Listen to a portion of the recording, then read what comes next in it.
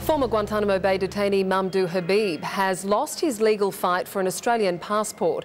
The federal court today upheld the Department of Foreign Affairs decision to reject Habib's application after an adverse security assessment by ASIO. I want to see my sister before she's dies. I want to see my mother before she's dies. I want to see my father before he's dies. But already they passed away. Habib claims he was beaten and tortured after being detained without charge in 2001.